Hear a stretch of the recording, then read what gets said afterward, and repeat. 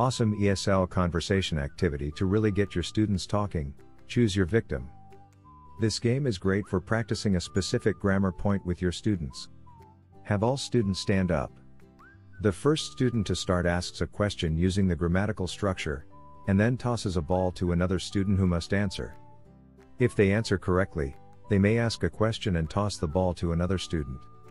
If they answer incorrectly, they must return the ball and sit down. The last student standing wins. Thanks so much for watching. We are ITTT, the leading provider for TEFL and TESOL training courses. If you like this video, please subscribe by clicking the button down here and click on any of the videos here on the left for more interesting teaching tips for getting certified to teach English abroad and online.